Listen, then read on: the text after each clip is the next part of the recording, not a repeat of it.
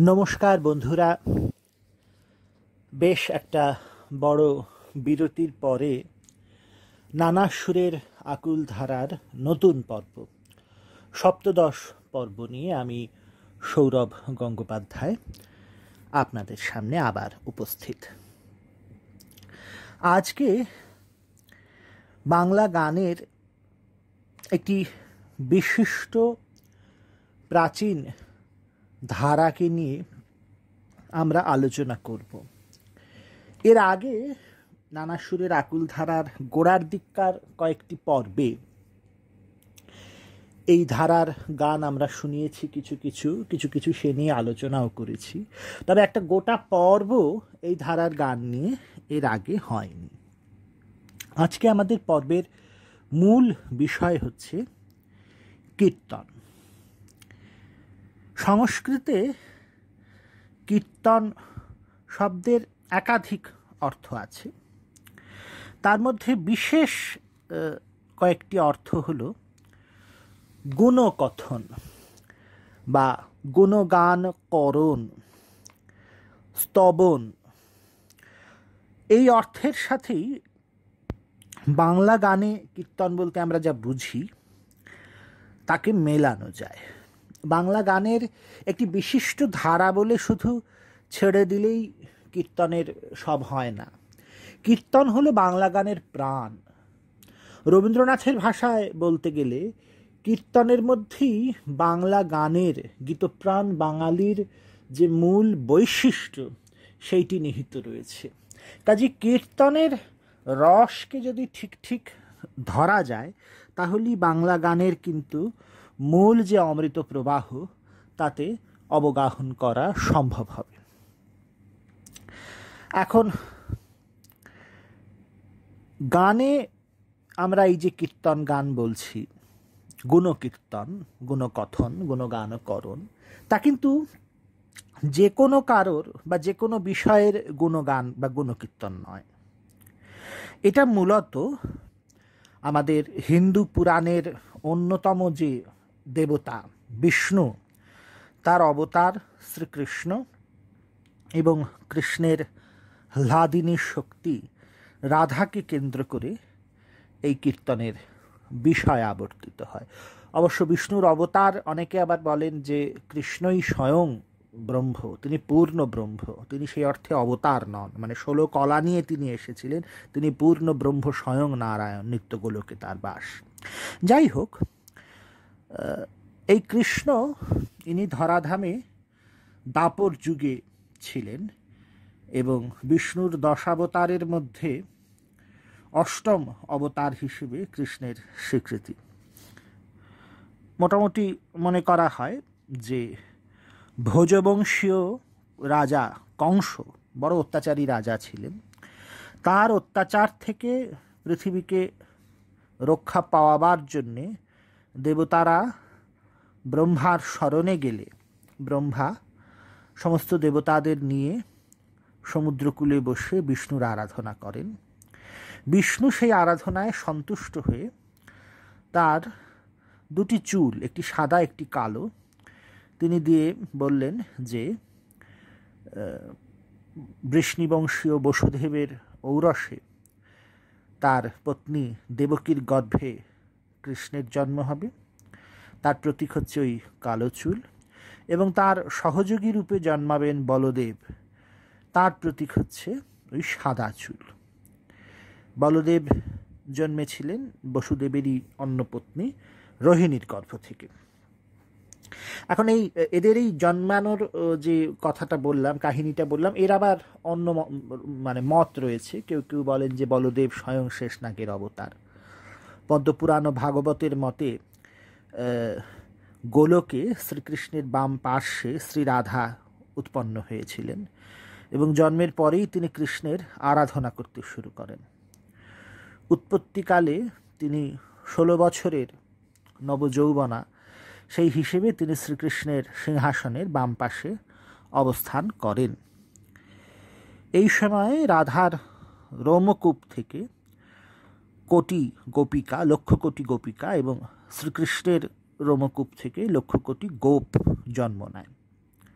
ব্রহ্মবৈবর্ত পুরাণ বলে আবার যে একবার বিষ্ণু তিনি রম্যবনে প্রবেশ করে রমন ইচ্ছা প্রকাশ করেন, তখন তার ডান অংশ থেকে কৃষ্ণমূর্তি এবং বাম অংশ থেকে রাধামূর্তি প্রকাশ পায়।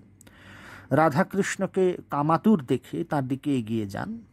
রা মানে হচ্ছে লাভ এবং ধা মানে হচ্ছে ধাবমান, ছুটে যাওয়া। তিনি অগ্রসর হয়ে কৃষ্ণকে লাভ করেছিলেন, এই জন্য তার নাম রাধা। তো এখন পুরাণের কাহিনীর শেষ নেই। কাহিনীর মধ্যে কোনটি অধিক গ্রহণযোগ্য সে নিয়ে তাত্ত্বিকদের মধ্যে তর্ক রয়েছে, আমরা সে তর্কে যাব না। আমরা ভাবগত দিক থেকে কীর্তন গানের যদি আলোচনায় আসি তাহলে মোটামুটিভাবে বলা যায় যে বিষ্ণুর অন্যতম অবতার কৃষ্ণের যে গুণকথন সুরতাল সহযোগে বা রাধাকৃষ্ণের যে লীলা, সেই লীলার ব্যাখ্যা, সেই লীলার মধ্য দিয়ে ঐশ্বরিক লীলা অনুধাবনের চেষ্টা, এটি হচ্ছে কীর্তন। পৌরাণিক কাহিনীর একটা ভিত্তি এই গানের মধ্যে রয়েছে। এই এই ধারার গানের একটা আদি উৎস হিসেবে একে আমরা ধরতে পারি। আমাদের সংস্কৃত কবি জয়দেবের যে গীত গোবিন্দম, সেটা এই বৈষ্ণব কাব্যধারার, বৈষ্ণব গীতধারার একটা আদি আকর গ্রন্থ। এই আখ্যান কাব্য ছিল গীতগোবিন্দম তাতে যে পদগুলি পাওয়া যায়, সেগুলি কিন্তু মানে রাগ তালযুক্ত অর্থাৎ সেগুলি গাওয়া হতো। তারপরে তবে খ্রিস্টীয় দ্বাদশ শতকে রচিত এই জয়দেবের গান কেমনভাবে গাওয়া হতো? অর্থাৎ গাইবার ধরন বা ঢং কী ছিল? সেটা আমরা আজকে তো জানতে পারি না। তারপরে ত্রয়োদশ শতাব্দীতে বড়ুচণ্ডীদাসের শ্রীকৃষ্ণ কীর্তন পাই আমরা। সেটিও ওই একই ধারার কাব্য। এবং এইটিকে মধ্যযুগীয় বাংলা সাহিত্যের আদিতম নিদর্শন হিসেবে বিবেচনা করা হয়। এবং এই বই গীতগোবিন্দমের দ্বারা অনেকাংশে প্রভাবিত। তারপরে আস্তে আস্তে বিদ্যাপতি গোবিন্দ দাস প্রমুখ পদকর্তারা এসেছেন। মহাপ্রভু শ্রী চৈতন্যের পরে তো বৈষ্ণব ভাব আন্দোলনের জগতে একটা বিরাট পালাবদল ঘটে গিয়েছিল। এবং রাধাকৃষ্ণের পার্থিব লীলাকে উপজীব্য করে পদ রচনা মহাপ্রভুর আগে একরকম, তারপরে আরেক রকম। তবে এই বিদ্যাপতি গোবিন্দ দাস জ্ঞানদাস, চণ্ডীদাস চণ্ডীদাস অনেক আছেন অবশ্য, যাই হোক। তো এদের এই পদগুলো এগুলো ওই শ্রীকৃষ্ণ কীর্তন বা গীতগোবিন্দমের মতন কোনো অখণ্ড আখ্যান কাব্য হিসেবে গ্রথিত হয়নি। তো বড়ুচণ্ডী দাসের কৃষ্ণ কীর্তনের থেকে শুরু করে তারপরে ধীরে ধীরে বঙ্গদেশে বৈষ্ণব কবিদের মধ্যে রাধাকৃষ্ণের লীলাভিত্তিক গান রচনার একটা ধারা তৈরি হয়ে যায়। এবং কালক্রমে এইটি সাধারণভাবে লোকমুখে কীর্তন হিসেবে পরিচিত হয়। অদ্বৈতাচার্য জবন হরিদাস, শ্রীবাস পণ্ডিত যারা বৈষ্ণবদের প্রধান পুরুষ ছিলেন, তারা এই কীর্তন গানের চর্চায় খুবই উৎসাহ দিতেন নবদ্বীপে বৈষ্ণব গোষ্ঠীতে। সে সময় বৈষ্ণব গোষ্ঠী একটা ছোট্ট গোষ্ঠী হিসেবে নদিয়ায় প্রতিষ্ঠা পেয়েছিল। ক্রমশ মহাপ্রভুর সূত্রে সারা ভারতে ভারতের অন্যান্য জায়গাতেও বৈষ্ণব ছিলেন, কিন্তু গৌড়ীয় বৈষ্ণবদের সঙ্গে তাদের কিছু তফাত ছিল। পরে মহাপ্রভুর কল্যাণে এই গৌড়ীয় বৈষ্ণবদের সারা ভারতব্যাপী একটা পরিচিতি তৈরি হয়ে যায় এবং এই রাধাকৃষ্ণ লীলা বিষয়ক যে গান এরা করতেন, সেইটি কীর্তন বা লীলা কীর্তন, যাই বলি আমরা। তো আজকে আসরে আমি কীর্তন গানই শোনাব তবে খুব বেশি শিল্পী বৈচিত্র্য আজকের নেই আমার। আমি মূলত কীর্তন সম্রাজ্ঞী ছবি বন্দ্যোপাধ্যায়ের কণ্ঠেই আপনাদের কীর্তন শোনাব। আর একেবারে পুরনো দিনের কীর্তনের নমুনা হিসেবে আমি পুণ্যময়ী দাসী, তার গানও আপনাদের বাজিয়ে শোনাব। তো আজকের আসর আমি শুরু করছি গীতশ্রী ছবি বন্দ্যোপাধ্যায়, তিনি কীর্তন সম্রাজ্ঞী, তার একটি সুপার সেভেন রেকর্ড উনিশশো আটাত্তর সালে seven LPE one eight four এই রেকর্ডের গান জয় জয় শ্রী গুরু। এই রেকর্ডটি সংকলন ও পরিচালনা করেছিলেন মৃগাঙ্ক শেখর চক্রবর্তী। তার পরিচালনায় হয়েছিল। সেই গানটি বাজিয়ে আমি আজকের আসর শুরু করছি।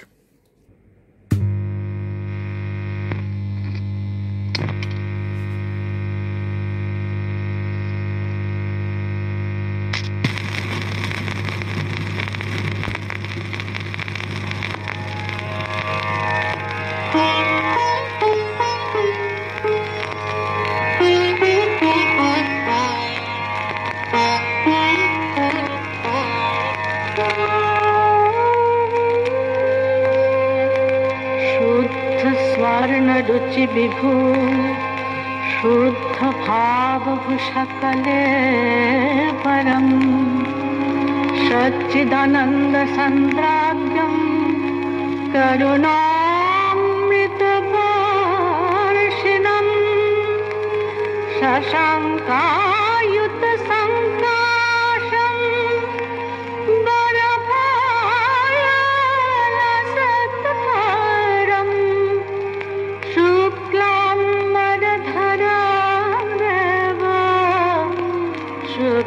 माल्यानुलेपनम्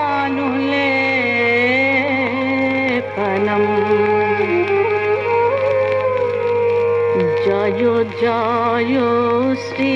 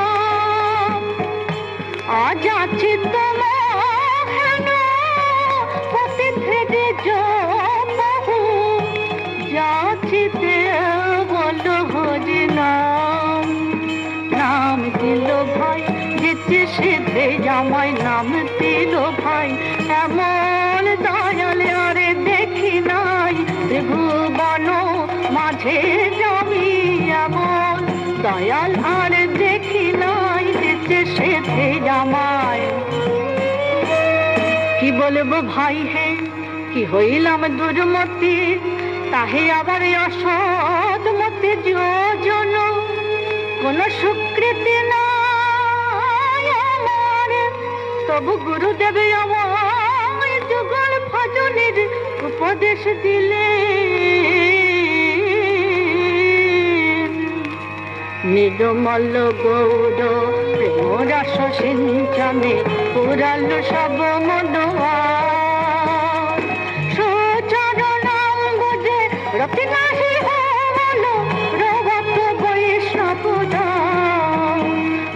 এক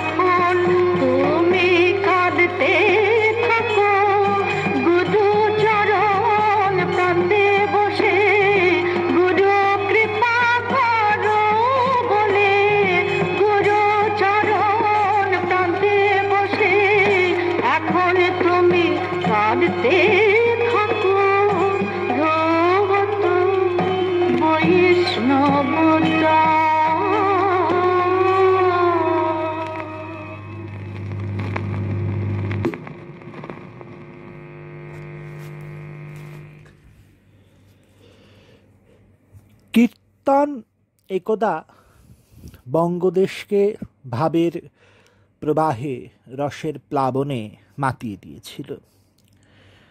কিন্তু সত্যি কথা বলতে কি, কীর্তনের ঐতিহ্য যেভাবে রক্ষিত হওয়া প্রয়োজন ছিল, তা রক্ষিত হয়নি। যারা এই কীর্তনকে নিজেদের সাধনার মধ্য দিয়ে আমাদের জীবনে প্রতিষ্ঠা দিয়েছিলেন। সেই সমস্ত ভাবুক, রসজ্ঞ, সংগীত পারদর্শী, ভজনশীল মহাজন যারা, তাদের সাধনা ছিল। এবং তারা কীর্তনের ভক্তিভাবের উপযুক্ত সুররূপ তারা ধারণ করেছিলেন নিজেদের কণ্ঠে এবং তাকে গড়েও নিয়েছিলেন অনেকটা। পরবর্তীকালে তাদের উত্তরাধিকার বিশেষ বিশেষ কণ্ঠের গিয়ে পৌঁছেছিল, বর্তেছিল। এবং এখানে একটা স্থানিক ব্যাপারও আছে। এক এক জায়গায় এক এক রকম ধারা তৈরি হয়ে উঠেছিল। কিন্তু ক্রমশ সেই সেই জায়গা, সেই সেই স্থান, নিজেদের মহিমা যখন হারালো এবং যারা সেই সেই স্থানে কীর্তনের স্তম্ভপুরুষ হিসেবে বিরাজ করছিলেন, তারা যখন ক্রমশ তিরোহিত হলেন। তখন দেখা গেল যে এই যে কীর্তনের এই গীতধারা, এটাও ক্রমশ লোপ পেতে বসেছে। অনেক সময় যারা কীর্তন গান করেন, তাদের অতিরিক্ত রক্ষণশীলতা, যেটাকে অধ্যাপক খগেন্দ্রনাথ মিত্র তার রসকীর্তন প্রবন্ধে বলছেন গোপনশীলতা, তার ফলে এই গানের সুর অপ্রচলিত হয়ে গেল। শ্রীনিবাস আচার্যের পৌত্র সম্ভবত শ্রীযুক্ত রাধামোহন ঠাকুর, তিনি যখন পদামৃত সমুদ্র সংকলন করেন, তখনই কিন্তু পদাবলীর পদলুপ্ত হওয়া শুরু হয়ে গেছে। মানে চণ্ডীদাস, বিদ্যাপতি এদের পদাবলী অনেক সময় তিনি কিন্তু পুরো পুরো পাননি, আধা আধা পেয়েছেন।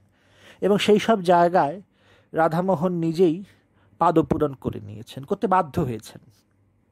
পদামৃত সমুদ্রে বলছেন তিনি, পূর্বোক্ত গীত কর্তৃণাং কদাচিত গান পোষকং ন লভ্যতে যত্র গীতং বিচিন্ত হৃদি তৎপদং দাস্যামি রচনং কৃত্বা তত্র তেষাং কৃপাবলই অর্থাৎ দুর্ভাগ্যবশত যেখানে কোনো একটি গীত, গীতার্ধ বা এক পাদ না প্রাপ্ত হওয়া গিয়াছে, সেখানে আমি রচনা করিয়া সে সকল যোজনা করিব। যোজয় স্বামী অদশদর্শী শ্রোতৃবৃন্দ আমার অপরাধ ক্ষমা করিবেন। এটা থেকে বোঝা যায় যে মহাপ্রভুর দেড়শো বছর পরেই মোটামুটি কিন্তু চণ্ডীদাস বিদ্যাপতি এদের পদাবলী তখন আর অবিকৃত নেই, দেড়শো বছরের মধ্যেই মহাপ্রভুর প্রয়াণের। কিন্তু রাধামোহন গোস্বামী তার একটা সুবিধে ছিল কি? যে তিনি যে যুগের মানুষ ছিলেন, তখন ভালো ভালো কীর্তনিয়া তারা সংখ্যায় অনেক ছিলেন এখানে এবং তাদের মুখে মুখে এই মহাজন পদগুলি প্রচলিত ছিল। গীতশাস্ত্র থেকে এবং এই কীর্তনিয়াদের অনুসরণ করে এই রাধামোহন ঠাকুর, তিনি কিন্তু পদামৃত সমুদ্র তিনি সংগ্রহ করে, সংকলন করতে তিনি সমর্থ হয়েছিলেন। আলোক্য গীত শাস্ত্রাণি সদ্ভক্তানাং কৃতানি তু, সংগৃহন্তে সুগীতানি কীর্তস্যানুসারত এখন, কীর্তনের উৎকর্ষ সেটা সেই যুগে কেমন হয়েছিল, সেটা পদামৃত সমুদ্রের সুরতালের বিন্যাস থেকেই আমরা বুঝতে পারি। আজকাল যে সমস্ত বই রয়েছে, আজকাল বলে আজকাল বলা ঠিক নয়, তাদেরও বয়স প্রায় একশো পেরোতে চলল, একশো দেড়শো। তো সেই সমস্ত বই গানের উপবিভাগে বড় বড় তাল, বড় বড় রাগ রাগিনী, এগুলো লেখা থাকে। কিন্তু আজকের দিনে ওই সব গান, ওই রাগ রাগিনী, ওই সব তালে গাইবার রীতি নেই কেন ওই রাগ রাগিনী বা তাল অধিকাংশই এখন অপ্রচলিত হয়ে গেছে। হ্যাঁ কিন্তু ওই একটা গতানুগতিকভাবে ওই উল্লেখটা রয়ে গেছে আর কি। কিন্তু পদামৃত সমুদ্র যখন সংকলিত হচ্ছে, তখন কিন্তু এমনটা ছিল না। রাধামোহন ঠাকুরের নিজেরই টিকা আছে প্রচুর। তাতে এমন সব রাগরাগিনীর উল্লেখ রয়েছে, যেই রাগরাগিনীগুলির সেই কালে রচিত আমাদের গোস্বামী পাদের তার যে বই রয়েছে মহানুভাবানুসারিণী। সেই টিকায় সেই সমস্ত রাগরাগিনীর রূপ এবং ধ্যান বর্ণিত আছে। এটা তখনই হতে পারে যখন ব্যাপারটা জীবন্ত থাকে। সঙ্গীতের একটা জীবন্ত অভিব্যক্তি সমাজে বর্তমান থাকে। তো পরবর্তীকালে ব্যাপারটা যখন একটা অসাড় প্রণালী হয়ে দাঁড়াল, তখন আর ওই সব ব্যাখ্যা, বিশ্লেষণ সেগুলো স্বাভাবিকভাবেই তা প্রয়োজন ফুরলো, লোপ পেয়ে গেল আর কি। তো যাই হোক, এইবারে ছবি বন্দ্যোপাধ্যায়ের ওই রেকর্ড থেকেই আমি একটি চৈতন্য বন্দনা বা গৌরাঙ্গ লীলার পদ শোনাই। এই গৌরাঙ্গ লীলার পদ, এই গৌরাঙ্গ লীলার পদের একটা বৈশিষ্ট্য হচ্ছে যে অনেক সময় কীর্তনের আসরে এই গৌরাঙ্গ লীলার পদ গোড়াতে গেয়ে নিয়ে তারপরে মূল রাধাকৃষ্ণ লীলা বিষয়ক পদে প্রবেশ করা হতো, যেটাকে অনেকে গৌরচন্দ্রিকা বলেন কেননা রাধাকৃষ্ণের দৈব লীলা রস আস্বাদন করবার জন্যে মন তো সবসময় উপযুক্ত সূচি থাকে না, সেই মনকে সূচি করে নেওয়ার কাজটা এই গৌরাঙ্গ বিষয়ক পদ শ্রবণে হয়। মহাপ্রভুকে কেন্দ্র করে এই পদগুলি রচিত, তার জীবনী লীলা বিষয়ক পদ। তা সেইটি এবার আমি এই রেকর্ড থেকে ছবি বন্দ্যোপাধ্যায়ের কণ্ঠে আপনাদের বাজিয়ে শোনাচ্ছি। ওই মৃগাঙ্ক শেখর চক্রবর্তীর পরিচালনাটি তিনি এটি সংকলন করেছিলেন এবং পরিচালনা করেছিলেন। মৃগাঙ্ক শেখর চক্রবর্তীর পরিচয় কীর্তনের পর্বে শ্রোতাদের না দিলে অন্যায় হয়, সেটা আমি এবারে এখানে দিয়ে নিই। মৃগাঙ্ক শেখর চক্রবর্তী তাকে কীর্তন বিশারদ বললে অন্যায় হবে। তিনি একজন বিশিষ্ট সঙ্গীতাচার্য ছিলেন। উনিশশো তেত্রিশ সালে মাখনলাল চক্রবর্তীর পুত্র মৃগাঙ্ক শেখরের জন্ম হয়েছিল ঢাকায়। এবং একেবারে ছোট বয়সেই সুরের যে প্রবাহ, সেই প্রবাহে মৃগাঙ্কের অবগাহন ঘটে গিয়েছিল। তার বাড়ির একেবারে পাশেই থাকতেন শাস্ত্রীয় সঙ্গীতজ্ঞ সুরেশচন্দ্র রায়। তার তত্ত্বাবধানেই প্রাথমিক সংগীত চর্চা করেছিলেন মৃগাঙ্ক শেখর।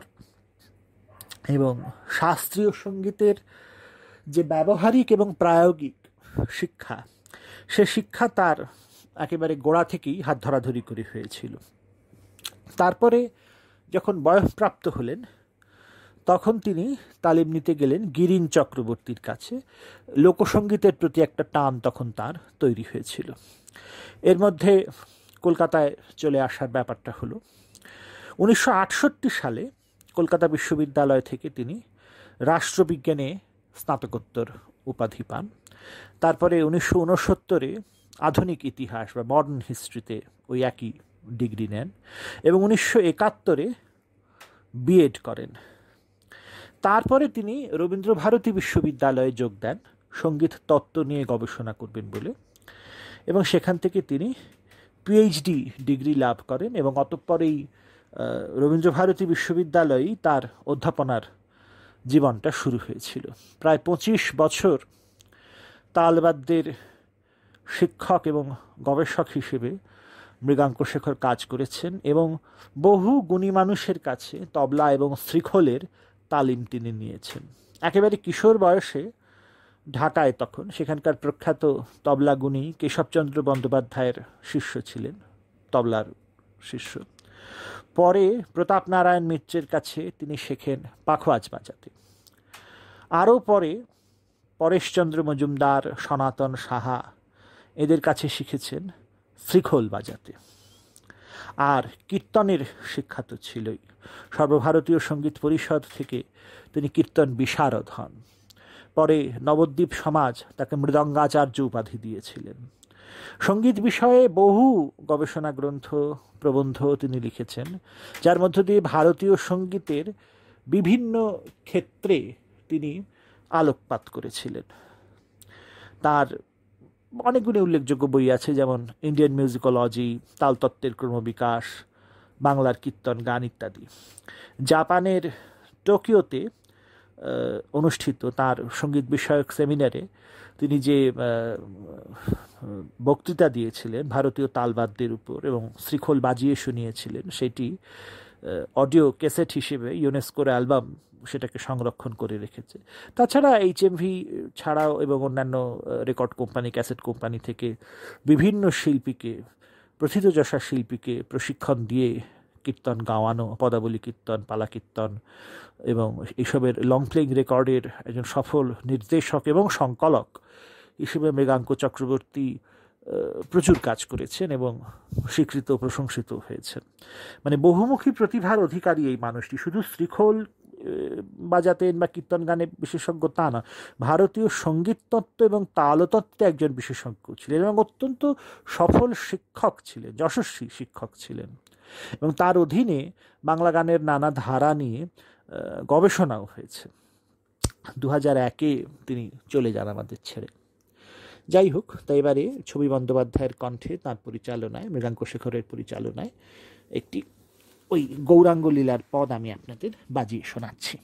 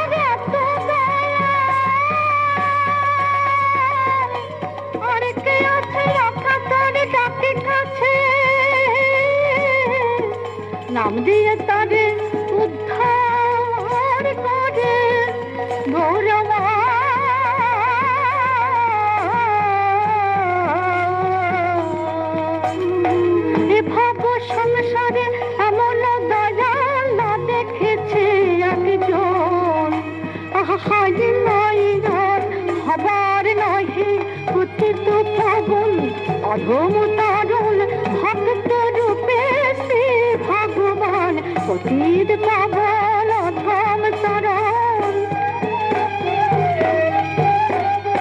গৌরাঙ্গ বলিয়া নাগেনু করিয়া কেমন ধরিনু দে হায় হায় আমাদের কি হলো? গৌর কি ধন সে নিলাম না রে? কলি যুগে জনমিরে গৌর কি ধন সে নিলাম না রে?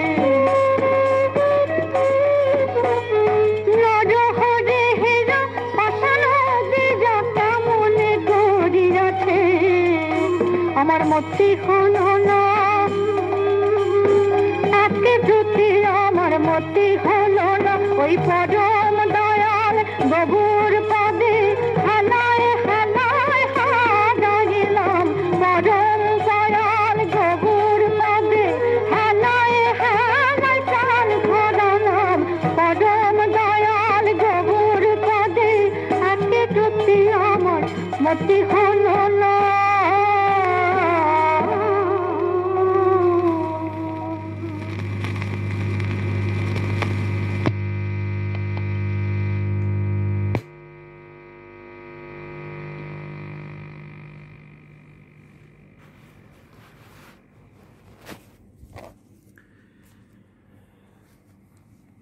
এই যে একটু আগে আমরা বললাম যে যখন রাধামোহন ঠাকুর, তিনি পদামৃত সমুদ্র সংকলন করছেন, তখন অনেক পদেরই পংক্তি হারিয়ে যেতে বসেছে এবং মহাজন পদ যোজনা করে দিতে হচ্ছে, লুপ্ত হয়ে যাবার ফলে।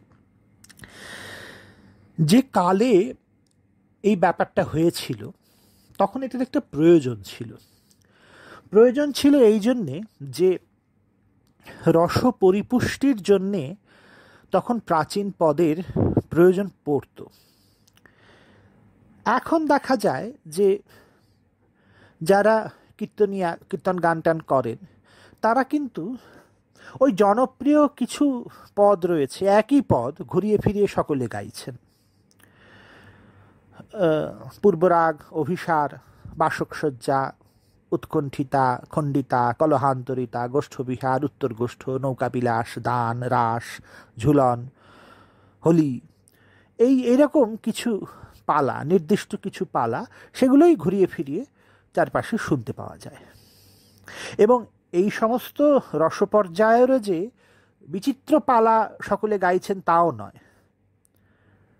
এবং সকলেরই যে সমস্ত ধরনের পালা কীর্তন গাওয়ায় সমান দক্ষতা থাকছে তাও নয়। কেউ হয়তো কলহান্তরিতা ভালো গাইছেন, কেউ গোষ্ঠ ভালো গাইছেন, কেউ বা বিরহের গান ভালো করছেন। অন্যান্য পালার গান হয়তো তার আবার আয়ত্তে নেই। এখন এদের তো একটা শিষ্য শিষ্যা গোষ্ঠী থাকে। ফলে সেই গোষ্ঠীরও কীর্তন চর্চাটা ভীষণ সীমাবদ্ধ হয়ে যাচ্ছে। হ্যাঁ এখন তার গোষ্ঠীতে একটা নির্দিষ্ট পর্যায়ের যে পালা রয়েছে, যে গান রয়েছে প্রচলিত সেই পালার, সেগুলি তিনি জানেন খুব ভালো, গাইছেন সব জায়গায়। কিন্তু তার বাইরে তার ঝুলিতে কিছু নেই। যার ফলে কী হচ্ছে, গানের সংখ্যা কমে যাচ্ছে। এখন আজকাল ওই কমে যাওয়া গানের সংখ্যা দিয়ে কাজ চলে যায়। কিন্তু সেকালে সেকালে তখন কীর্তনের রসজ্ঞ শ্রোতা ছিলেন, বোদ্ধা শ্রোতা ছিলেন এবং কীর্তনের একটা বিশেষ আদর ছিল, তখন কিন্তু ওই রকমভাবে কাজ চলতো না। যার ফলে প্রাচীন পদের প্রয়োজন পড়তো। তখন তো একটা কীর্তনের দেশব্যাপী প্রতিষ্ঠা ছিল। হ্যাঁ ফলে যদি না থাকতো সেটা, তাহলে কিন্তু এই এত এত নতুন নতুন পদ সৃষ্টি হতো না। আজকে যে বৈষ্ণব পদাবলী একটা বিরাট সাহিত্য ভাণ্ডার হয়েছে, এত অজস্র রকম তার তাল সুরের পরীক্ষা নিরীক্ষা রয়েছে। মানে বৈঠকি গানের ধারা থেকে একটা পৃথক সত্তা তৈরি হয়ে গেছে কীর্তনের। পৃথক একটা পথে সেটা প্রতিষ্ঠা পেয়েছে এবং সে পথটা খুব মনোমুগ্ধকর পথ। সে পথ তাকে তৈরি করে নিতে হয়েছে এবং সেটা সহজে হয়নি। পরিশ্রমে হয়েছে এবং প্রতিভারও দরকার ছিল। ফলে এটা কীর্তনের ওই পরিমাণ প্রতিষ্ঠা না থাকলে এই এতখানি কাণ্ড হতো না। ফলে কীর্তনের সেই অপ্রতিহত প্রভাবের দিনে যখন বড় বড় সব পদকর্তারা জ্ঞানদাস, নরোত্তম দাস ঠাকুর, গোবিন্দ দাস কবিরাজ। তারা পদাবলী রচনা করছেন, গান তৈরি করছেন, নিত্য নতুন সুরে ছন্দে এবং দেশ একেবারে মেতে উঠেছে। তখন কিন্তু সেই যুগটায় ওই যেটা বললাম যে রস পরিপুষ্টি রসপোষণ, তার জন্যে কিন্তু নিত্য নতুন পদ দরকার পড়তো। ওই এক জিনিস বারবার ঘুরিয়ে ফিরিয়ে করলে তখন হতো না। এবং তখন কীর্তন জিনিসটা আজকের মতন নয়, তখন কীর্তন বাস্তবিক ভক্তিরসে। সেটা একটা উজ্জ্বল জীবন্ত ব্যাপার ছিল, যেটাকে খগেন্দ্রনাথ মিত্র বলছেন যে এটা ভাবনমেষে মূর্তিমান কীর্তন তখন, নানানভাবে ভাবনমেষে মূর্তিমান। এবং বৈষ্ণব দাস বা গোকুলানন্দের শ্রীপদ কল্পতরুতে এটি বারো মাসা মানে শ্রীমতীর যে বারো মাসের বিরহের পদ রয়েছে। সেই পদটা কীরকম? তার, বৈষ্ণব দাস নিজেই বলেছেন, তার প্রথম চারটে কলি হচ্ছে বিদ্যাপতির, পরে দুটো কলি হচ্ছে গোবিন্দ দাস কবিরাজের, এবং শেষ দিকে ছটা কলি হচ্ছে গোবিন্দ চক্রবর্তীর। মানে এটা মিলিয়ে করে দিয়েছে। এরকম দৃষ্টান্ত খগেন্দ্রনাথ মিত্র দেখাচ্ছেন তার রসকীর্তন প্রবন্ধে যে এরকম দৃষ্টান্ত অনেক আছে। এখন এই প্রমাণগুলো থেকে আমরা এটি বুঝতে পারি যে সেই যে কীর্তনের যেটা স্বর্ণযুগ ছিল, সেই যুগে যে জীবনধারা তখন ছিল, কীর্তনের যে চাহিদা ছিল তাতে, নতুন নতুন পদ তৈরি করেই যে সেটা শুধু সন্তুষ্ট থাকতো তা নয়, পুরনো যে সব পদ হারিয়ে গেছে বা কিছুটা নষ্ট হয়ে গেছে, সেগুলিকেও জীবিত রাখার একটা চেষ্টা ছিল, জীবন্ত করার একটা চেষ্টা ছিল। এবং কীর্তনের যে সমস্ত প্রসিদ্ধ সুররূপের সঙ্গে আজকে আমরা পরিচিত, সেগুলি কিন্তু ওই যুগেরই সৃষ্টি। কেননা ভাবের এত রকম অভিব্যক্তি, তার প্রকাশ ঠিক ঠিক ঘটাতে গেলে নিত্য নতুন ছন্দের প্রয়োজন হয়ে পড়েছিল। নতুন নতুন সব তাল, কীর্তনের যে এত তালের বৈচিত্র্য, সে কিন্তু ওই যুগেরই ব্যাপার। এবং আজকের দিনে যারা সঙ্গীতজ্ঞ তারা কিন্তু মানে তাদের বিস্ময়ের কোনো সীমা থাকে না এই ছন্দ এবং তাল নিয়ে তারা যখন দেখেন, ভাবেন। এবং শুধু আজকে বলি না, এটা আমার ধারণা মানে এটা এটা হবে। মানে আগামী দিনেরও সঙ্গীতজ্ঞ যারা আসবেন, তারাও কীর্তনের ভাণ্ডারের এই ছন্দ তালের বৈচিত্র্য দেখলে তাদের মানে বিমুগ্ধ বিস্ময়ের অবধি থাকবে না। কেননা যারা কীর্তনের পদকর্তা ছিলেন, মহাজন, তারা শুধু সাংগীতিক বিকাশের দিকেই যে তাকিয়েছিলেন তা তো নয়, গান যাতে ভজন সাধনের অনুকূলে যায়। হ্যাঁ যেটা মানে যেমন আহ্নিক করি আমরা, সেই আহ্নিকের মতন যাতে নিত্য উচ্চার্য একটা ব্যাপার হয়। ধ্যান ধারণায় সাহায্য করে। তার জন্যে তারা প্রাণপাত করে চেষ্টা করেছিলেন। ফলে তাতে যে এই কীর্তনের মধ্যে এই মহাজন পদকর্তাদের যে শুধুমাত্র কাব্য প্রতিভা বা গীত প্রতিভা গীত নৈপুণ্যের পরিচয় রয়েছে তা কিন্তু নয়। তাদের যে আধ্যাত্মিকতা, তারও একটা চরম বিকাশ এই কীর্তনের গানগুলির মধ্যে আমরা দেখতে পাই। সেটা গরেনহাটি হোক কি মনসাই হোক, যাই হোক, রেনেটি হোক, কীর্তনের প্রধান ব্যাপারটাই হচ্ছে এই আধ্যাত্মিকতা। আজকের দিনে হয়তো উৎকৃষ্ট পদকর্তা রসজ্ঞ শ্রোতা বা কীর্তনের সমজদার আজকের দিনেও একেবারে যে শেষ হয়ে গেছে তা নয়, কিছু হয়তো আছেন। কিন্তু সেই যে আধ্যাত্মিক টানটা, সেইটা মানুষের মধ্যে তো এখন আর নেই। আজকের দিনে মানে হরিস্মরণ করে মন সরস হচ্ছে। শ্রীকৃষ্ণের মধুর লীলা সম্পর্কে কৌতূহলী, এরকম শ্রোতা কিন্তু আমরা খুব একটা পাবো না। সুতরাং গান হিসেবে কীর্তনের সেই যে আদর ছিল, সেটা আজকে তো আর নেই। তো আমি এবারে ওই ছবি বন্দ্যোপাধ্যায়ের কণ্ঠে পদকীর্তন, যেটা বাজাচ্ছিলাম রেকর্ডটি, তার উল্টো পিঠের আজ কুঞ্জে রাধা মাধব ঝুলেরি, এই পদটি আমি আপনাদের বাজিয়ে শোনাচ্ছি।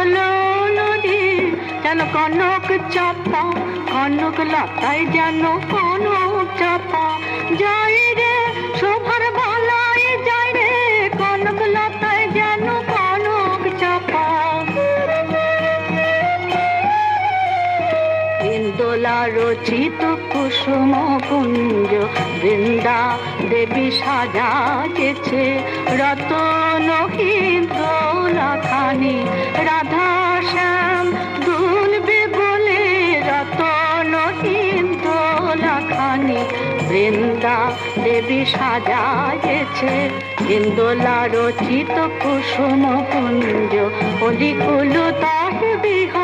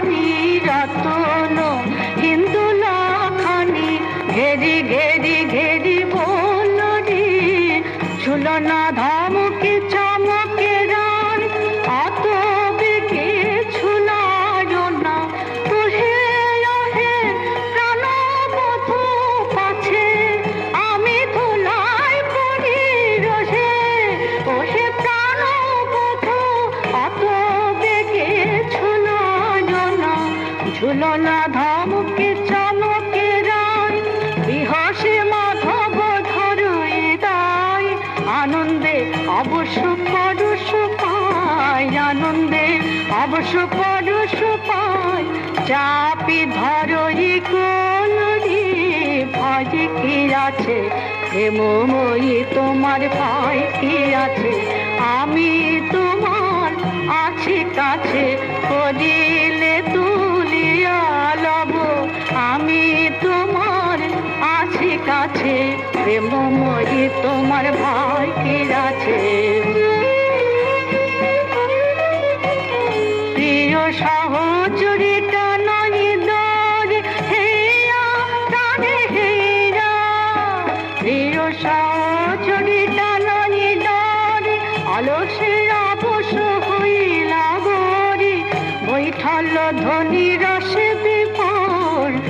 বৈঠল পরাণ নাথের শনি আপন পরাণ নাথের শনি রতন হিন্দলা পরে বৃন্দা বনলালো করে, রতন হিন্দলা পরে আপন পরাণ নাথের দীন কৃষ্ণ দাস বলরি লীলা হেরে মধুর ঝুলন লীলা হেরে শ্রী বৃন্দাবনে রাধা গোবিন্দে।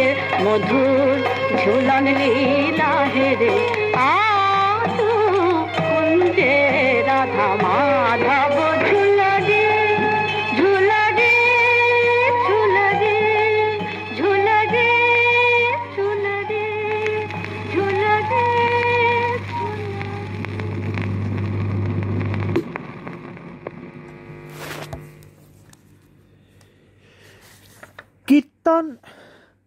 গাইবার এবং কীর্তন শ্রবণ করবার যথার্থ অধিকারী কে? এই প্রশ্ন উঠলে মহাপ্রভুর কাছে যেতে হয়। মহাপ্রভু বলছেন, যুগায়িতং নিমেষেণ চক্ষুষা প্রাবৃষায়িতং শূন্যায়িতং জগত সর্বং গোবিন্দ বিরহেণ মে এটি কীর্তনের উপজীব্য গোবিন্দের বিরহে যার মন ব্যাকুল হয়। কীর্তন গাওয়া এবং কীর্তন শোনা এই দুয়ের অধিকারী তিনি। কিন্তু আজকের দিনে সেই ভাব পাওয়া তো সম্ভব নয়। শতাংশের একাংশ পাওয়াও সম্ভব নয়। ফলে আজকে কীর্তনের শ্রেষ্ঠত্ব যদি আলোচনা করতে হয়, তাহলে নানান যুক্তি সাজাতে লাগে। কেননা আজকের দিনে মানুষ তার মন সেরম নেই, সর্বক্ষণ অন্য চিন্তায় ব্যাকুল। সময় নেই হাতে সাধনার তো প্রশ্নই নেই।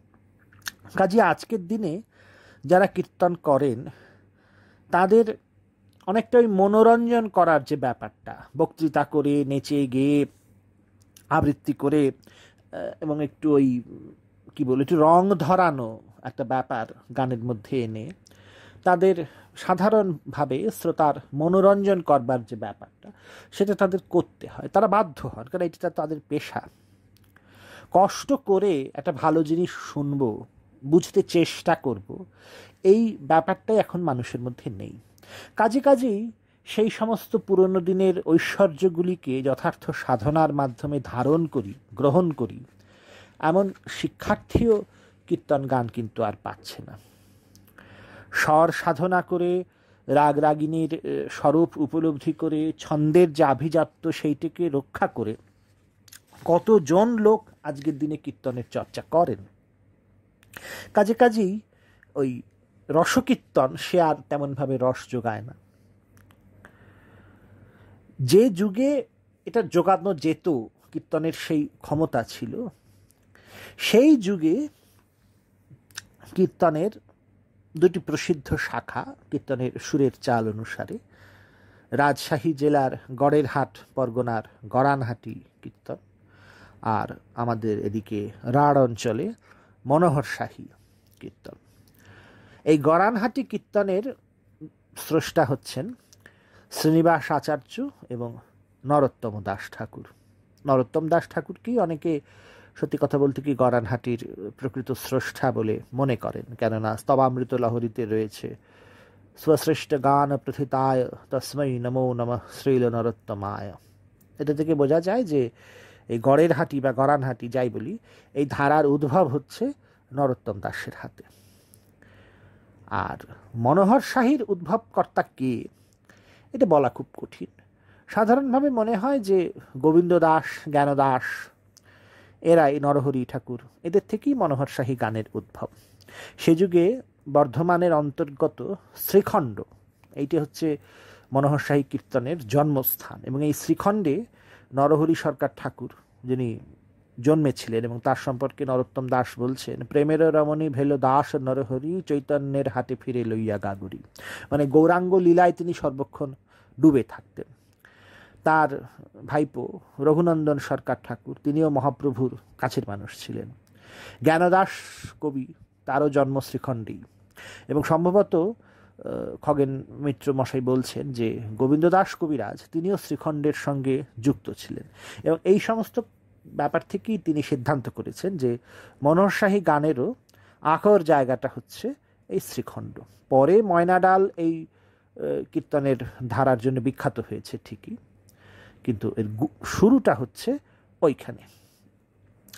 আমরা আমাদের আলোচনা এগিয়ে নেব। তা এবারে ওই যে রেকর্ডটি বাজাচ্ছিলাম, সেই রেকর্ডেরই পরের যে গান রয়েছে সবসখী মেলি ঘেরেরই পদকীর্তন, সেইটি আপনারা শুনুন।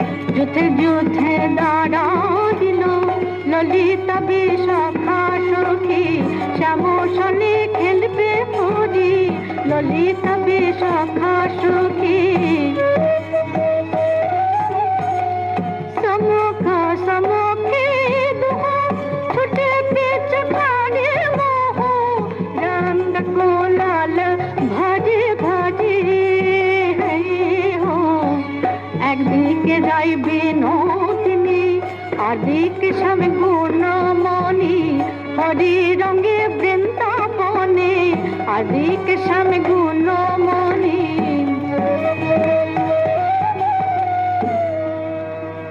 আজুরে শ্রী বৃন্দাবনে হরিরণে। হরিরণে পরাজিত নাগর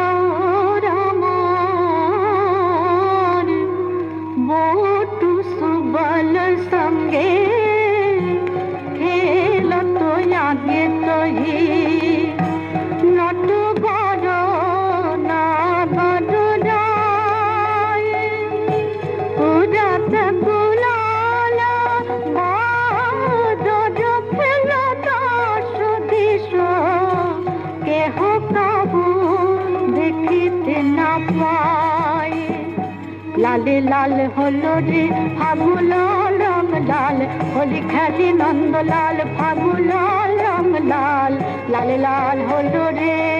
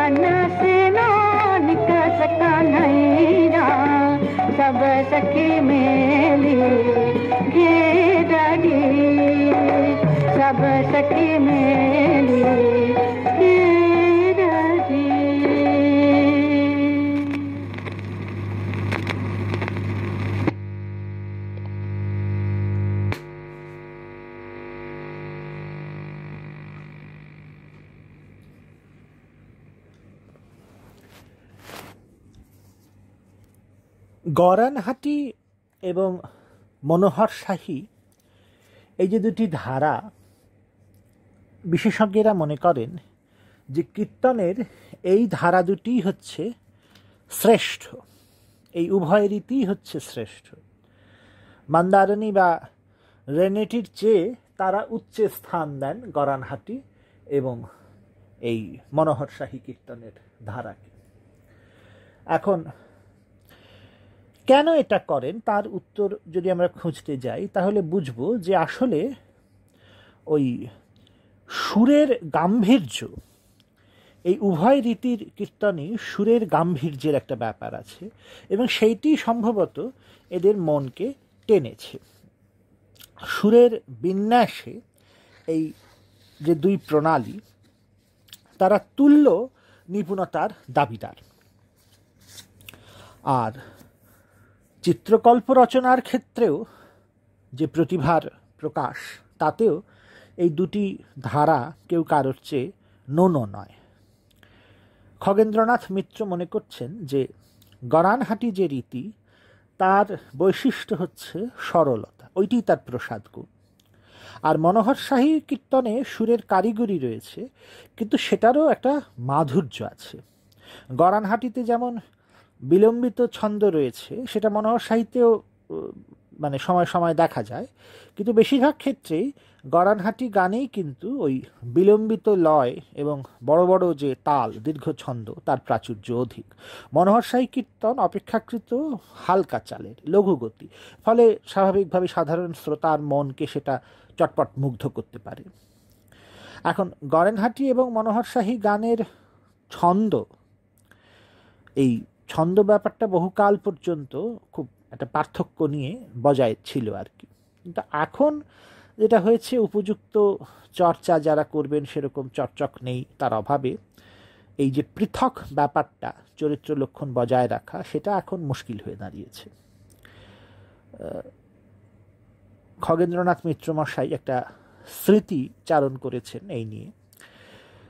পূজনীয় পণ্ডিত অদ্বৈত দাস বাবাজির স্মৃতি। যে তিনি ওই সেকালের সেই ঢং বজায় রেখে কীর্তন গাইতে সক্ষম ছিলেন। কিন্তু শ্রোতার অভাবে এই গাইয়েদের অস্তিত্ব সংকট কীভাবে হয়, তারই একটা নিদর্শন এই স্মৃতিচারণ থেকে আমরা পাব। নাটোরের মহারাজ জগদেন্দ্রনাথ রায়ের বাড়িতে একবার এই অদ্বৈত দাস বাবাজির কীর্তন হবে।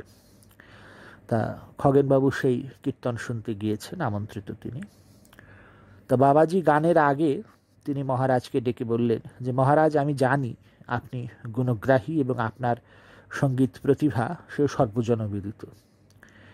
আর এখন তো আর মানে গুণী সমাজে সেভাবে গান করতে পারা যায় না। আপনার মতন গুণীর সভায় গান করতে পারছি, এটা একটা পরম সৌভাগ্যের বিষয়। তা আপনি যদি অনুমতি করেন, তাহলে দু একটা উচ্চাঙ্গের কীর্তন আমি গেয়ে শোনাই। আমি কিছু জানি না তবু যা জানি, সেটাও আজকাল শোনাবার লোক পাই না। তো মহারাজ অনুমতি দিলেন, তিনি গান ধরলেন এবং তার গানের খুবই কঠিন সুরতালের সে কীর্তন। সেই গান হয়ে যাওয়ার পরে মহারাজ তাকে প্রতিশ্রুতির চেয়ে অনেক বেশি পুরস্কার দিয়েছিলেন, তৃপ্ত করেছিলেন। কিন্তু পরে জগদেন্দ্রনাথ রায়মশাই, তিনি খগেন্দ্রনাথ মিত্রকে তিনি আলাদা করে ডেকে বলেন যে আমি ধ্রুপদ, খেয়াল এই সমস্ত ভালো ভালো লোকের মুখে আমি শুনেছি এবং সেসব গান আমি ধরতেও পেরেছি। কিন্তু বাবাজি এই যে গাইলেন এই গান আমার মাথার ওপর দিয়ে গেল। এত বিলম্বিত লয়ের এবং এত আয়াসলভ্য সুরের কীর্তন আমি কোনো দিন শুনিনি। তো খগেন্দ্রনাথ মিত্রমশাই বলছেন যে, সঙ্গীতে দক্ষ পাখোয়া যে সিদ্ধহস্ত মহারাজ জগদীন্দ্রনাথ। তিনি যেখানে বুঝতে পারলেন না, তার মাথার উপর দিয়ে চলে গেল। তাহলে সে জিনিস সাধারণ শ্রোতার পক্ষে হজম করা, সেটা কত কঠিন একটা ব্যাপার সহজেই বোঝা যায়। যাই হোক আমরা আমাদের আলোচনা এগিয়ে নেব। এবারে আমি গিয়ে আপনাদের বাজিয়ে শোনাবো একটি পুরনো দিনের H V record N seven two six seven এই নম্বরে। পুণ্যময়ী দাসীর গাওয়া কীর্তন। লেট পুণ্যময়ী দাসী রেকর্ড লেভেলে বলাও আছে। এগুলো পরবর্তীকালের পদকীর্তন। প্রথম যে গানটি শোনাচ্ছি, ও কুবজার বন্ধু। হারমোনিয়াম এবং খোল সহযোগে এই কীর্তন গীত হয়েছে।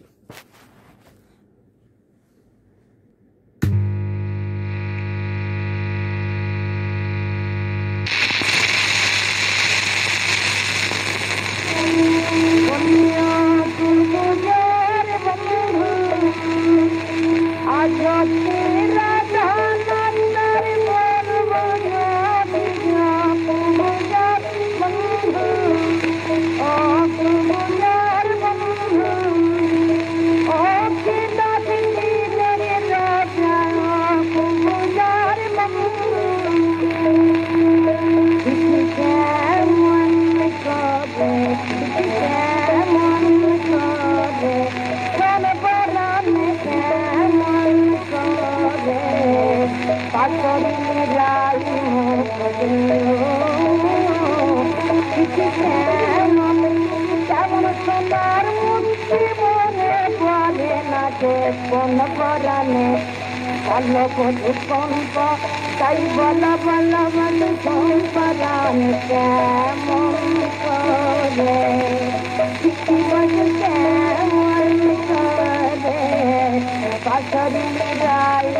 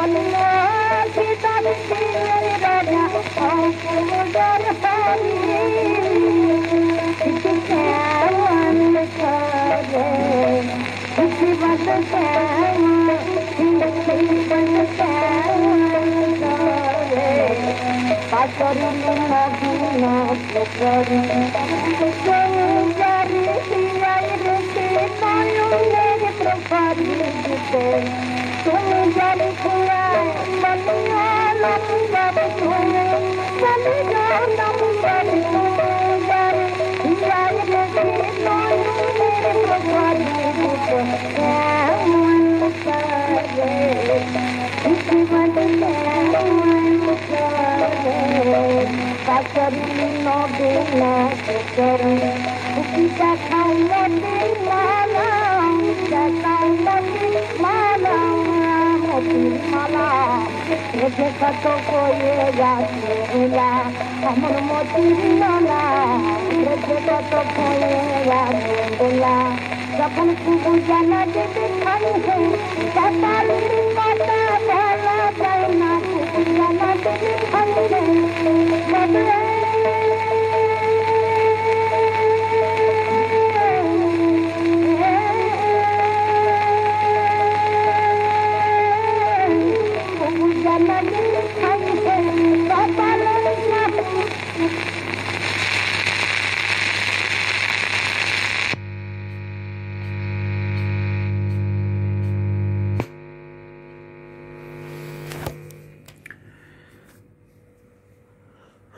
মনোহর শাহী কীর্তন, গড়েনহাটি কীর্তনের তুলনায় অধিক প্রচলিত।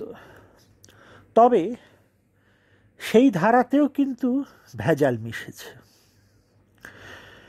মনোহর শাহী এবং গরেনহাটির চেয়ে অপেক্ষাকৃত নবীন বয়সী যে দুটি অন্য ধারা রয়েছে কীর্তন অর্থাৎ রেনেটি এবং মন্দারিনী, এই দুটি, এই মনোহর শাহী ধারার সঙ্গে মিশে গিয়ে অনেক জায়গায় জিনিসটাকে তরল করে দিয়েছে। কীর্তনকে শ্রুতিমধুর করবার জন্যে অনেক সময় একটু হালকা চালের চপল, লঘু সুর, তার মধ্যে জুড়ে কীর্তনকে জনসমাজে আনার একটা প্রচলন, সে তো অষ্টাদশ শতাব্দী থেকেই শুরু হয়ে গিয়েছিল। ঢপ কীর্তন আমরা জানি, মধুকান, গোবিন্দ অধিকারীর সুর। এইগুলো কীর্তন গানের ওজনটাকে অনেক পরিমাণে কিন্তু হ্রাস করেছে।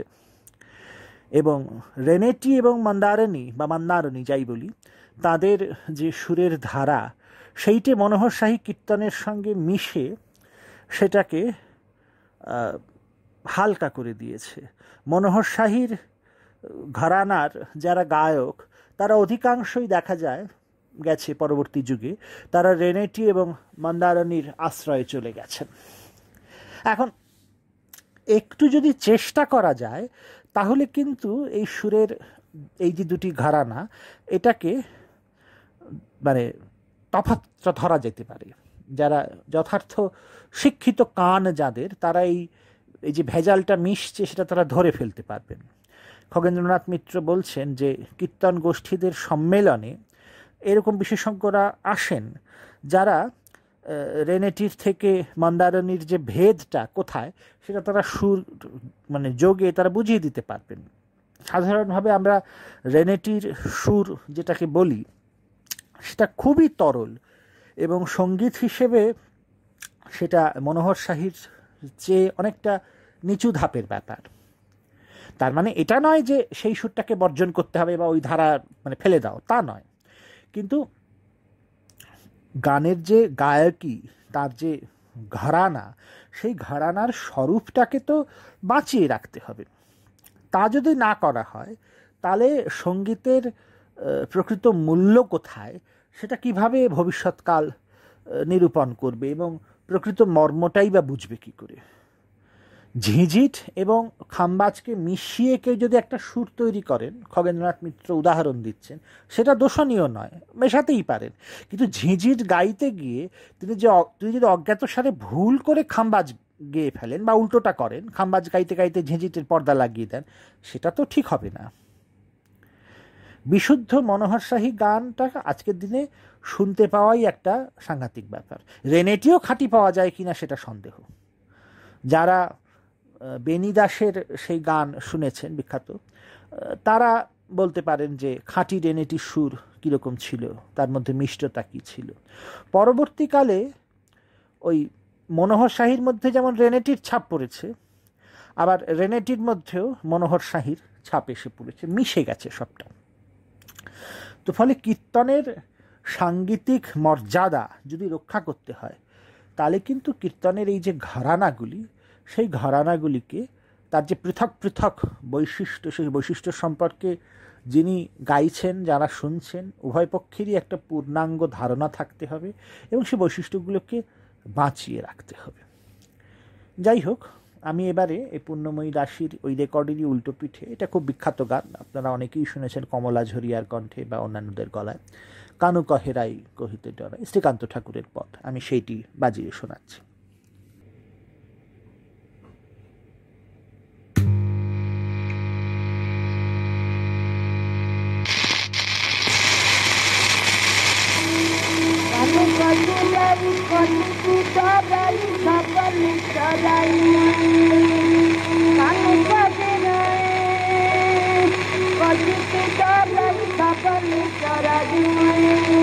আমি তোমার প্রেমের জানি কালো কাটু যাই আমি তোমার প্রেমের অধিকারী রাখার বন্ধ নয় আমি রাখার বন্ধ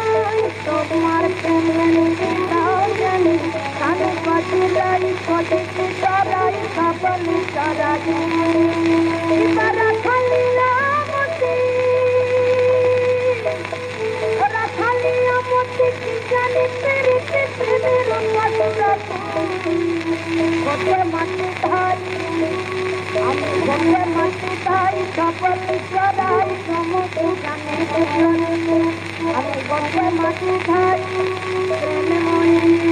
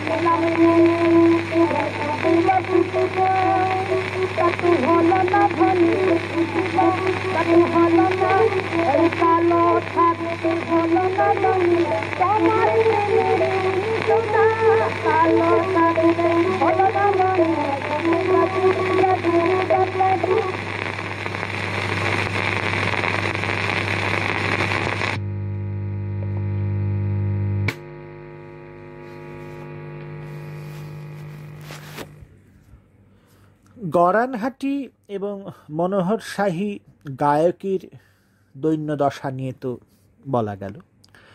কীর্তনের সঙ্গত সেটারও কিন্তু অনেক অবনমন হয়ে গেছে। তরল গানে তরল তাল বাজিয়ে বাহবা পাওয়া সেটা খুব কঠিন ব্যাপার কিছু নয়, সময় সাপেক্ষও নয়। কিন্তু ওই যে বললাম যে গরেনহাটি গান, মনোহর শাহী গানের গাম্ভীর্য তার ছন্দ বৈচিত্র্য সেটা এমনই একটা ব্যাপার যে সেখানে সঙ্গত একটা পৃথক মাত্রা দাবি করে। গান অনুযায়ী তো তার সঙ্গতটা হবে, গীত অনুযায়ী বাদ্য।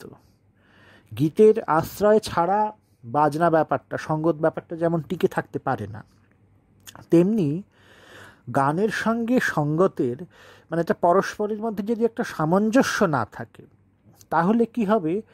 ওই শিল্প চাতুর্যের ফলে যে রসদগার সেই রসদগারটা হবে না। আনন্দের সৃষ্টি হবে না, সহজ কথা। ভালো গায়কের অভাব, ভালো বাদকের অভাব ঘটিয়ে দেয়। বাধ্য। আগেকার দিনে যে সমস্ত প্রসিদ্ধ বাজিয়েরা বাজাতেন, সঙ্গত করতেন, সেই স্তরের সঙ্গতকার আজকের দিনে দুর্লভ হয়ে গেছে। এখনও কীর্তন জগতে। গোলক দাস, মহানন্দ, ভারত দাস, নিকুঞ্জ মিত্র, রামকল্পা গৌরদাস ব্রজবাসী, কুঞ্জ দাস। এদের নাম লোকে মাথা ঠেকিয়ে প্রণাম করে উচ্চারণ করে। এবং এরা অনেকেই কিন্তু রেনেটি মন্দারিনী গরেনহাটি মনোহর শাহী এই চারটে ঘরানাতেই তারা সঙ্গত করতে জানতেন। এই চারটে ঘরেরই সঙ্গতের বৈশিষ্ট্য তাদের করতলগত ছিল।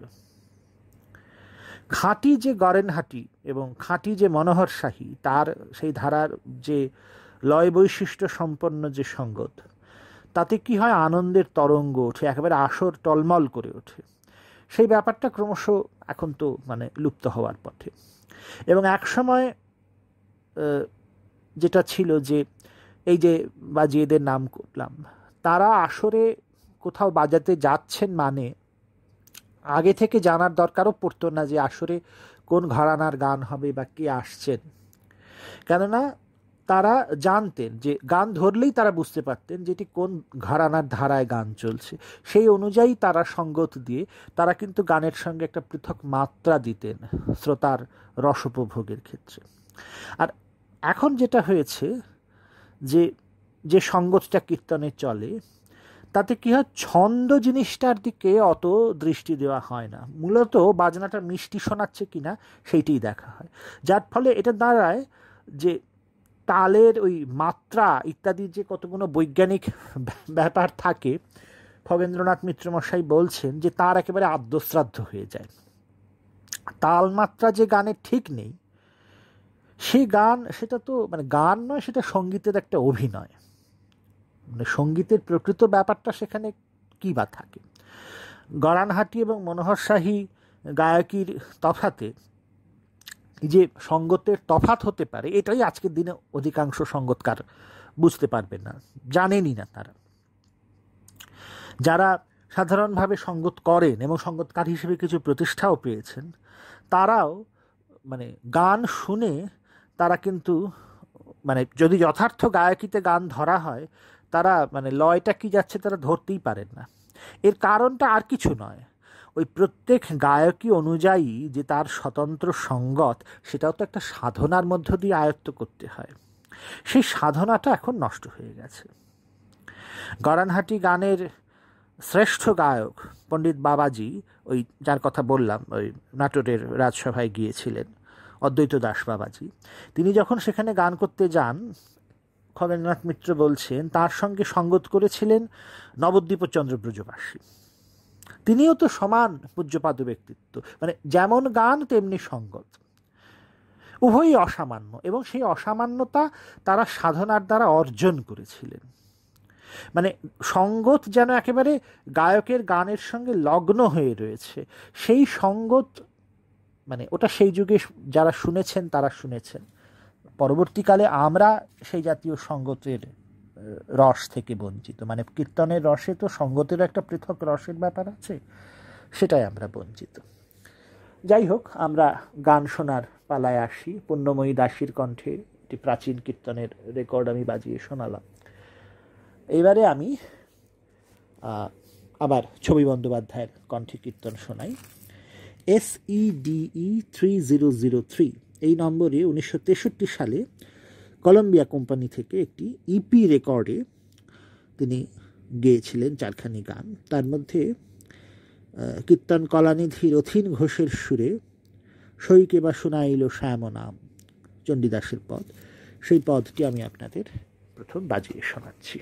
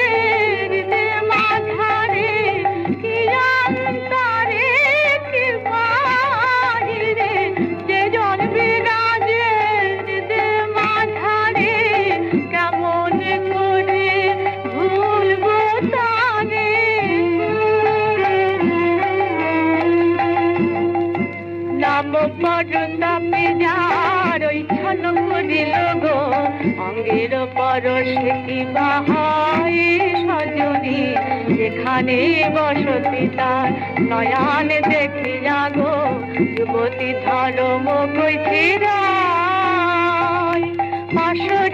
করি মনে না যায় গো, কি উপায়?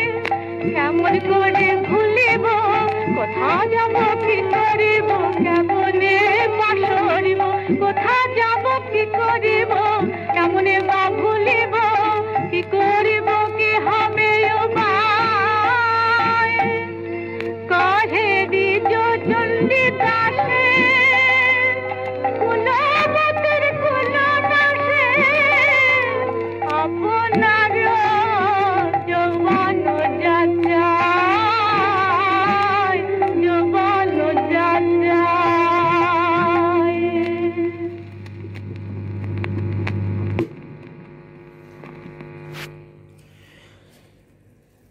এই যে রেকর্ডটি আমি বাজিয়ে শোনাচ্ছি, এতে দুটি গানই প্রাচীন পদাবলী কীর্তন, মহাজন পদাবলী কীর্তন।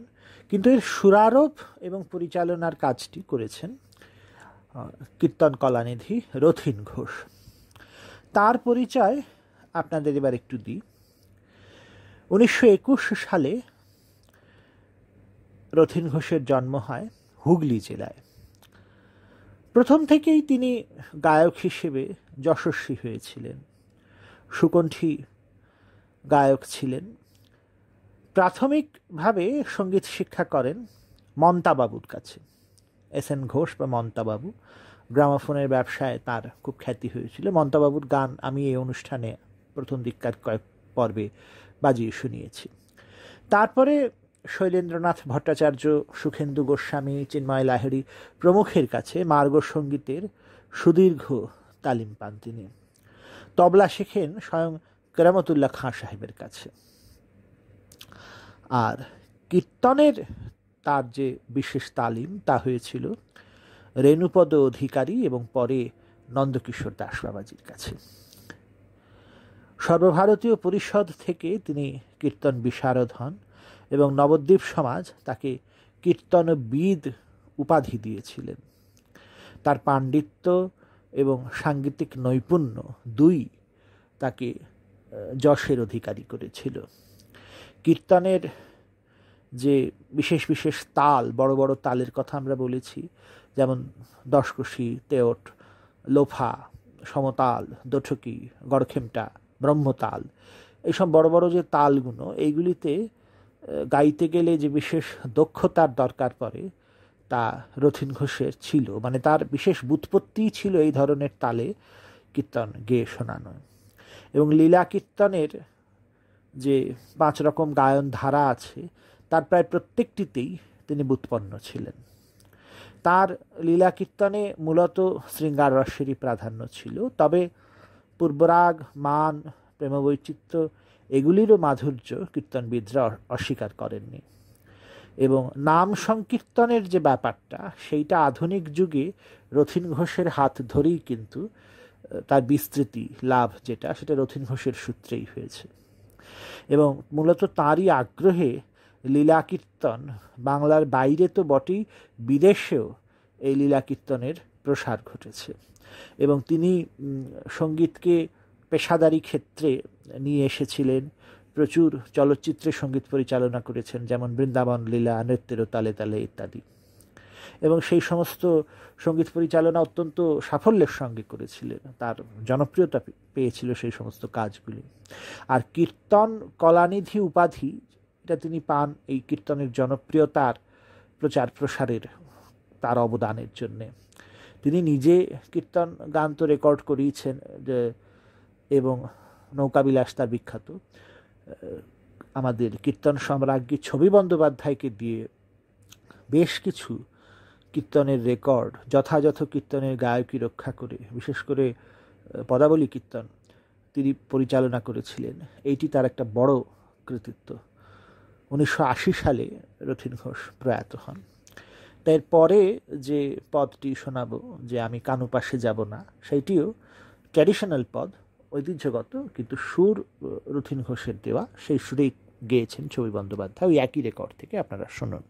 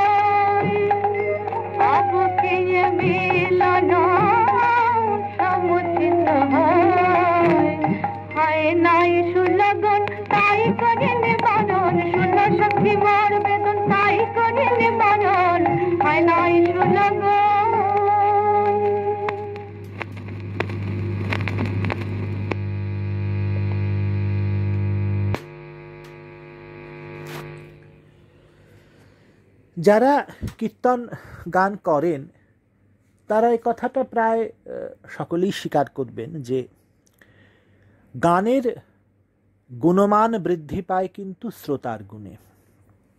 কেননা শ্রোতার জন্যে তো গান। কাজী শ্রোতারা যা চাইবেন, গান ব্যাপারটা, গান বাজনা সবই তার অনুরূপ হতে বাধ্য। শ্রোতার রুচির যে আদর্শ, সেটা যদি উঁচু দরের না হয়, তাহলে গানের কিন্তু উৎকর্ষ আশানুরূপ হওয়া মুশকিল। আবার এটাও ঠিক যে উল্টো দিক থেকে মানে শিল্পেরই বলি, সঙ্গীতেরই বলি, সেটার যদি একটা উচ্চ আদর্শ না থাকে, তাহলে শ্রোতাদের রুচির উন্নয়ন ঘটাবে কে? ও তো আপনি নেমে যাবে। কীর্তনের চর্চার যে বাস্তব চিত্রটা এখন, তাতে এটাকে বাঁচানোর চেষ্টা করাটা বাঙালির একটা জাতীয় কৃত্য, জাতীয় দায়িত্ব। কেননা বাঙালির সবচেয়ে বড় দান সংস্কৃতিতে শিল্পই বলি, সাহিত্যই বলি, ভাষার ইতিহাস, যাই বলি, সংগীত বলি, তা কিন্তু মূলতই কীর্তন। কথা রবীন্দ্রনাথও স্বীকার করেছেন যে বাঙালির গানের মূল হচ্ছে এইটি। এবং ওই অধিকারী, অনধিকারী, অন্তরঙ্গ, বহিরঙ্গ এই সব কিছু ভেবে আর হবে না, সে সময়টা নেই। মহাপ্রভু বলেছিলেন যে যারা অন্তরঙ্গ তাদেরকে নিয়েই রস আস্বাদন করতে হবে। হ্যাঁ এবং এখনও এটা দেখা যায় যে কীর্তনের অন্তরঙ্গ শ্রোতা না হলে সে কীর্তন মানে আসর জমে ওঠে না। সব এলোমেলো হয়ে যায়, ভেসে যায়। হ্যাঁ রসটা ঠিক দানা বাঁধে না। অন্তরঙ্গতা চাই, কিন্তু অন্তরঙ্গ কাকে বলব? মহাপ্রভু তো সেইটা বলে যাননি স্পষ্ট করে। সঙ্গীতের হিসেবে এই যে এতক্ষণ যা বলা হলো কথা, সবই তো সঙ্গীতের দিকে তাকিয়ে। কিন্তু ধর্মতত্ত্বের দিক থেকেও তো কীর্তনকে বিচার করতে হবে। এবং সেইখানে যদি ওই অন্তরঙ্গতাটা না থাকে তাহলে অন্য যেদিকে যত বড় কৃতবেদ্যতাই থাকুক না কেন কিন্তু কিছু হবে না। এই কথাটা গোড়ায় মাথায় রেখে কীর্তন চর্চা করা জরুরি। যাই হোক, এবারে আমি ওই রেকর্ডটিরই উল্টোপিঠ থেকে দাশরথী ঠাকুরের বিখ্যাত পদ, হৃদি বৃন্দাবনে বাস কর কমলাপতি সেইটি আমি এবারে বাজিয়ে শোনাচ্ছি।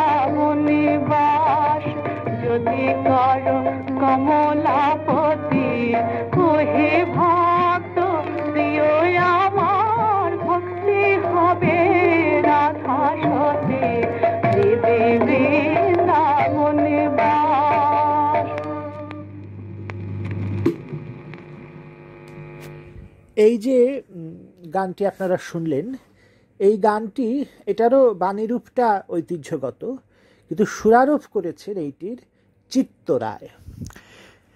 চিত্তরায় তার পরিচয় দেওয়াটা উচিত। বাংলা গানের তিনি একটি মানে বিশিষ্ট অধ্যায় বলা উচিত। বাংলা গানের অন্যতম একটি বিশিষ্ট অধ্যায় হচ্ছেন চিত্তরায়। উনিশশো ষোলো সালে তার জন্ম হয়েছিল এবং তার সংগীত জীবন, সেটা জুড়ে যারা রয়েছেন, তারাও বাংলা গানের এক একজন দিকপাল। কমল দাশগুপ্ত, অনুপম ঘটক এবং দুর্গা সেন। সঙ্গীতের বিভিন্ন ধারাতেই চিত্তরায় বুৎপন্ন ছিলেন। ধ্রুপদ, খেয়াল, টপ্পা, ঠুংরি, কাব্যগীতি, গজল, এই সবেতেই তিনি বিপুল সামর্থ্যের পরিচয় দিয়েছিলেন। তবে তার গভীর অধ্যয়ন ছিল কীর্তনে। এবং তার সংগীত জীবনকে যারা গঠন করে দিয়েছিলেন, তারা হচ্ছেন জমিরুদ্দিন খাঁ সাহেব এবং কমল দাশগুপ্ত।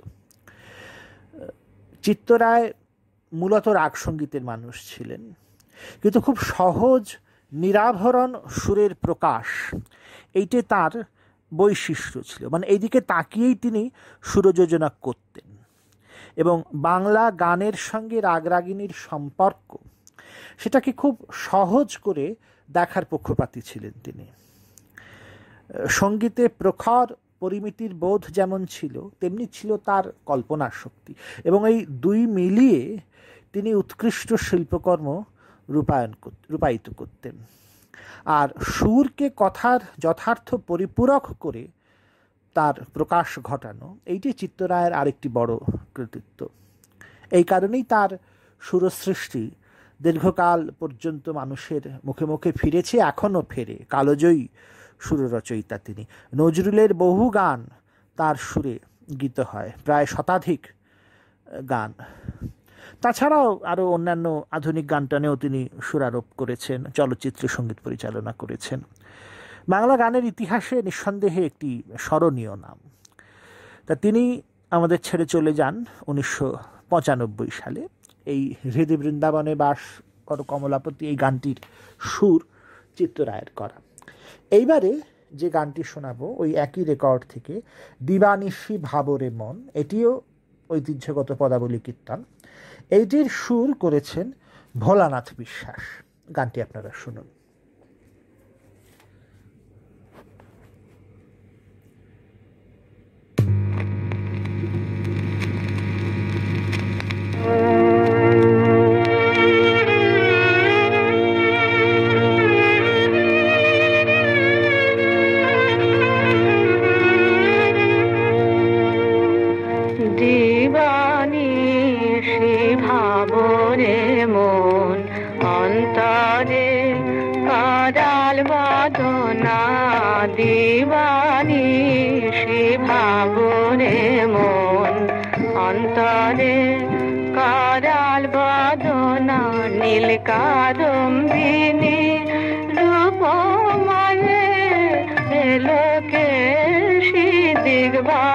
না দিবানিসি ভাবরে মন অন্তরে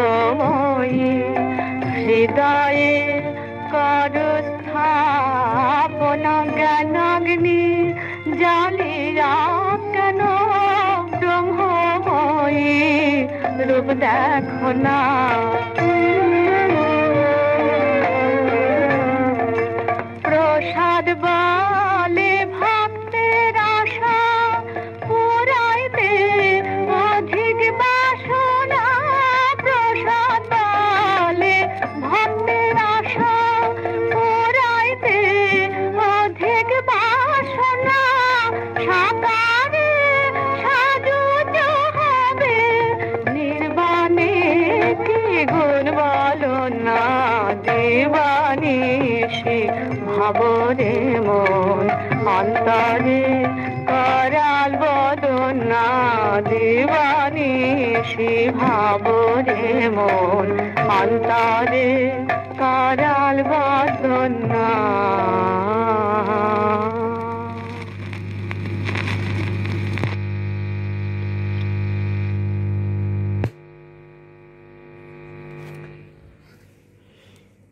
কীর্তনের কাব্য সম্পদের যে দিকটা রয়েছে, সেটা আজকে যেহেতু মুদ্রণ শিল্প আমাদের হস্তগত। তার ফলে ছাপা বইয়ের মধ্য দিয়ে কীর্তনের পদগুনি পাঠ করবার সুযোগ আজকে সকলেরই আছে। কাজেই সেখানে আর ওই অন্তরঙ্গ, বহিরঙ্গ এইসব ভেদ করবার আর কোনো অবকাশই নেই। আর সঙ্গত হিসেবে অন্তরঙ্গ বা অধিকারী তারাই যারা কীর্তনের আনন্দ পান। আর যারা আনন্দ পান না রাগরাগিনীকে ভেঙে চুরে একেবারে একটা জংলা করে ফেলেছেন এবং কীর্তনের নামে নাক কুচকে ওঠেন। এরাই বহিরঙ্গ। এদের নিয়ে কীর্তনের আস্বাদনটা ভালো হয় না। আর ধর্মের দিক থেকে যদি বলি, তাহলে যারা রাধাকৃষ্ণ এই যুগলের উজ্জ্বল রসে মোহিত হন না, তারা বহিরঙ্গ। তাদের নিয়ে লীলা আস্বাদন করা যায় না। তারা হয়তো প্রার্থনা, নিবেদন বা নাম কীর্তন শোনার অধিকারী হতে পারেন হতে পারেন। মহাপ্রভু সেটা হয়তো বলেওছেন। কেননা লীলারও তো বিভিন্ন রসপর্যায় আছে, ভিন্ন ভিন্ন স্তরের অধিকার, ভিন্ন ভিন্ন রসাস্বাদনের অধিকার দেয়। কেউ সক্ষ রসে ভরপুর, তাদের হয়তো গোষ্ঠের পদে খুব আনন্দ। হ্যাঁ আবার কেউ হয়তো বাৎসল্যের পদে আনন্দ পান। কেউ হয়তো আবার মাধুর্য রসের প্রতীক, মাধুর্যই শ্রেষ্ঠ। তো সমস্ত রসের গান সব জায়গায় গেয়ে দেওয়া যায় না। জায়গা বুঝে, আসর বুঝে গান করতে হয়। তো এখানে সংগীত এবং কাব্যের অধিকার ছাড়া ভজনের যে অধিকার, সেটাও আমাদের ভাবতে হবে। যেখানে স্কুল কলেজের ছাত্রছাত্রী বেশি রয়েছেন, সেখানে ওই রসালস বা কুঞ্জভঙ্গ, এগুলো বেশি না করাই তো ভালো। তারা অন্তরঙ্গ নয় এর। ফলে লীলা গানেরও একটা ক্রম আছে এবং সাধারণ শ্রোতার কাছে গান করতে গেলে একটু বুঝে সুঝে, ভালো করে দেখে তবে সে গান করা উচিত। আমরা আবার গানে যাই, গানে ফিরি। আমরা এতক্ষণ মূলত বেশিরভাগ যা পদ শুনলাম সবই মাধুর্য রসের পদ। এইবারে একটা বাৎসল্যের পদ শুনি। প্রভাতে উঠিয়া মাতা যশোমতী। উনিশশো বাহাত্তর সালে কলম্বিয়া কোম্পানি থেকে একটি extended play SCD three zero four six রেকর্ডে এটা হয়েছিল। এটি সুর করেছেন রত্নেশ্বর মুখোপাধ্যায়। তার পরিচয় গানটা হয়ে যাবার পরে আমি আপনাদের দিচ্ছি। গানটি আপনারা শুনুন।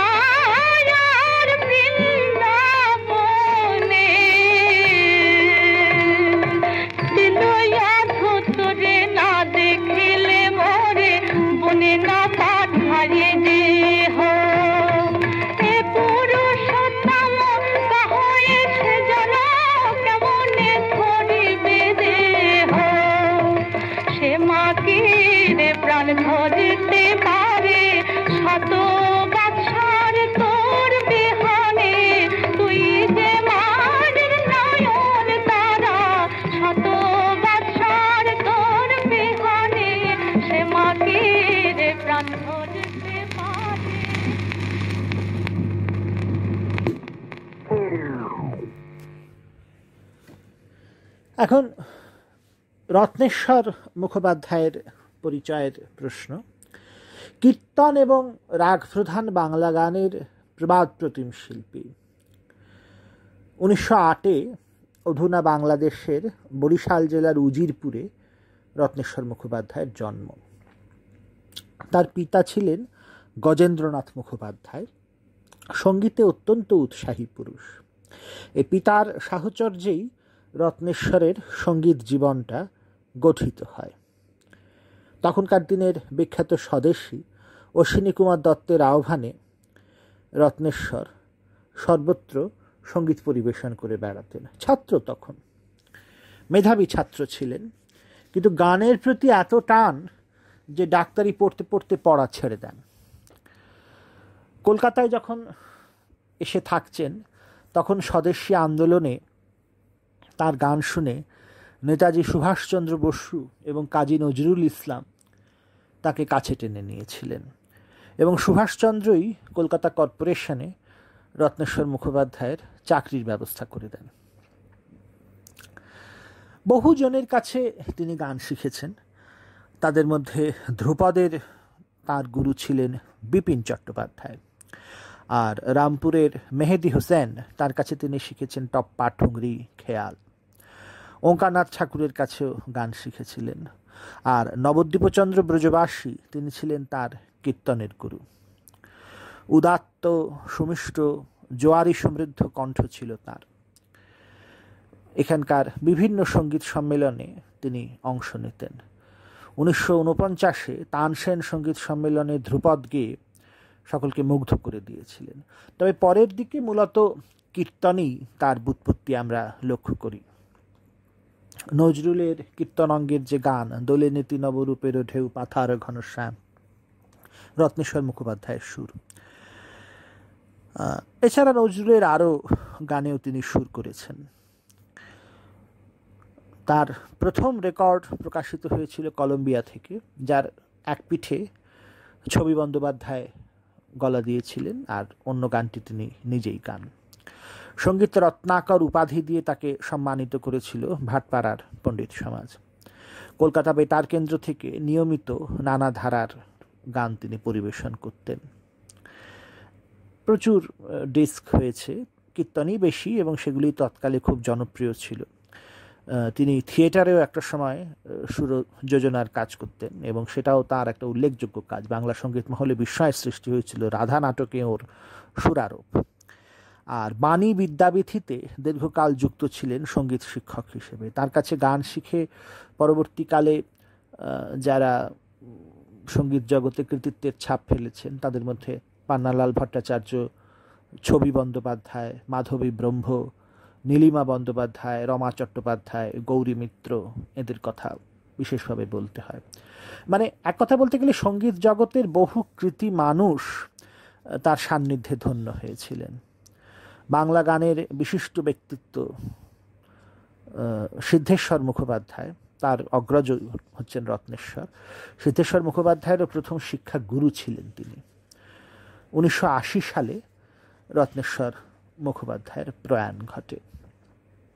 এবং এই সূত্রেই আজকের এই আসরের যিনি প্রধান গায়িকা, অর্থাৎ ছবি বন্দ্যোপাধ্যায়, তারও পরিচয় একটু আপনাদের দিয়ে রাখি। ছবি বন্দ্যোপাধ্যায়ের কথা আমি এর আগে বলেছি বিভিন্ন সময়। তার অনেক গানই তো এই আসরে শোনালাম।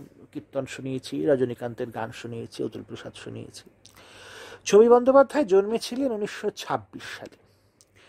কীর্তন গানের অপ্রতিদ্বন্দ্বী শিল্পী। একালে আধুনিক যুগে কীর্তন ছবি বন্দ্যোপাধ্যায়কে বাদ দিলে ভাবাই যায় না।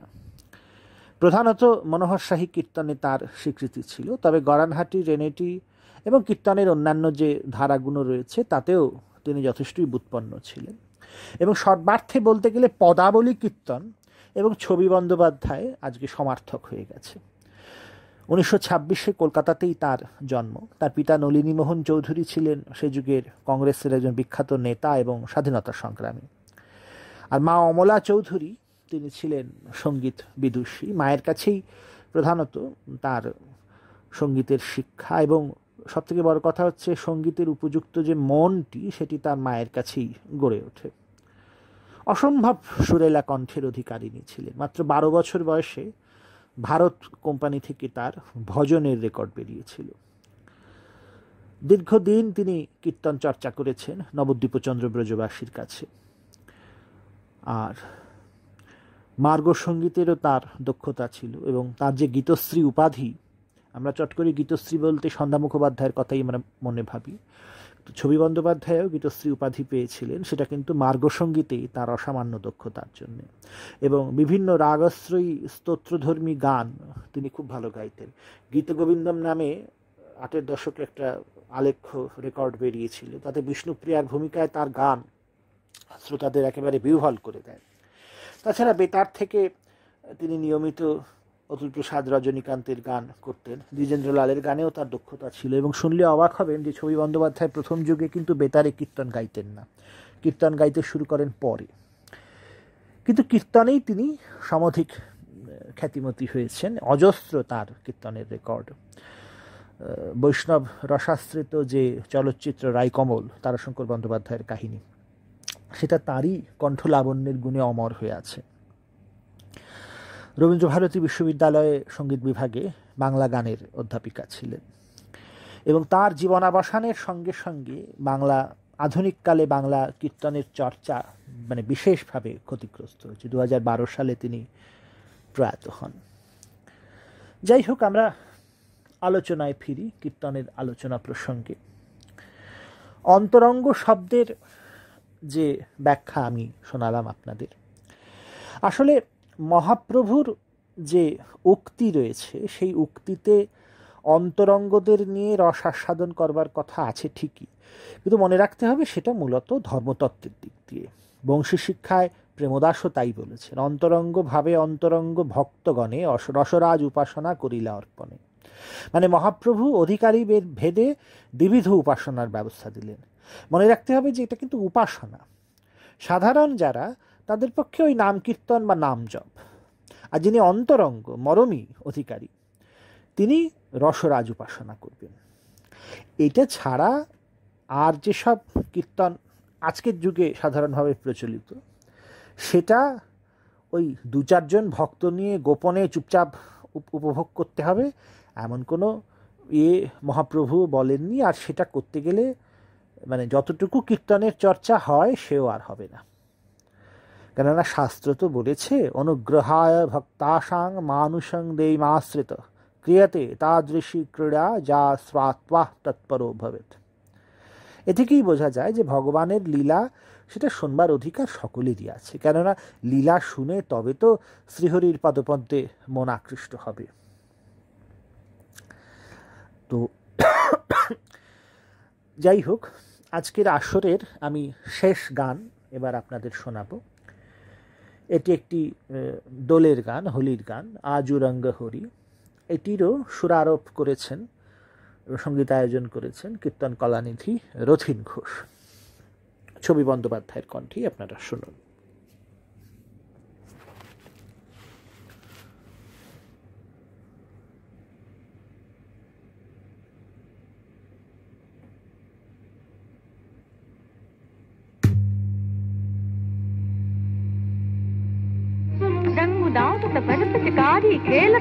गिरि गोवर्धन धारी खत घिन धा घिन धा घिन घिन धा घिन धा घिन घिन धा घिन धा घिन धा घिन धा हरि हो हरि हो हरि हो हरि हो हरि खेलत श्याम बड़ी राजू हरि खेलत श्याम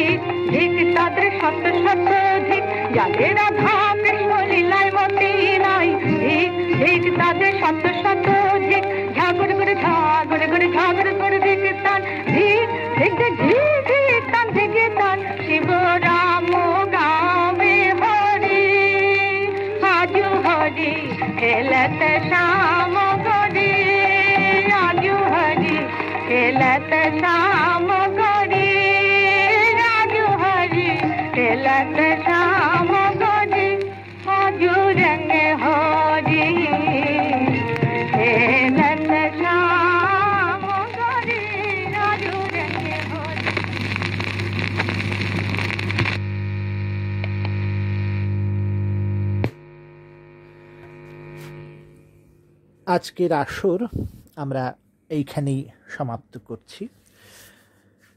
আজকে কীর্তন সম্পর্কে যে আলোচনা করলাম, তাতে আমার মূল অবলম্বন ছিল ভারতবর্ষ পত্রিকা, প্রথম খণ্ড, চতুর্দশ বর্ষ, তৃতীয় সংখ্যায় প্রকাশিত। বিশিষ্ট কীর্তনবিদ অধ্যাপক খগেন্দ্রনাথ মিত্রের রসকীর্তন প্রবন্ধটি। পাবনার কীর্তন গোষ্ঠী সম্মেলনে কীর্তন সম্পর্কে এই বক্তৃতাটি তিনি দিয়েছিলেন। এছাড়া এমনি যেমন সংগীত চরিতাভিধানের সাহায্য নিয়ে থাকি, সেটা তো আছেই। পরবর্তী পর্বে আবার আমরা অন্য বিষয় নিয়ে বা কীর্তনেরই উপরে আরও একটা পর্ব করা যেতে পারে, সেটা আমরা এখনও বিবেচনা করিনি। পরে বিবেচনা করে সেই মতো নতুন পর্ব নিয়ে আবার আপনাদের সামনে আসব। ততদিন আপনারা ভালো থাকুন, সুস্থ থাকুন, নিরুদ্বেগ থাকুন। শুভরাত্রি।